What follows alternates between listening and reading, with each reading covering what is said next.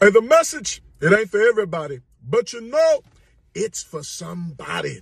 And there's someone out there, you've been facing continuous adversity, trials and tribulations of life. The storm is raging, setback after setback. You move up 10 and you get knocked back 15.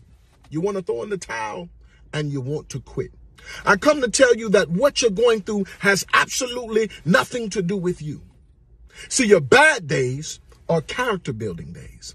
And the darkness that you're facing is to ignite and activate the purpose within you to empower somebody else.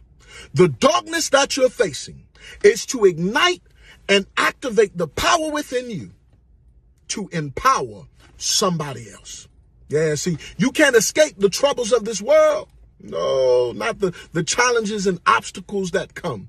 But see, when your character aligns with your purpose, it's just the reassurance that your value outweighs the circumstance. Whew.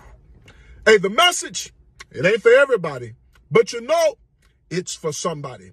GBMLT 2518. Stay.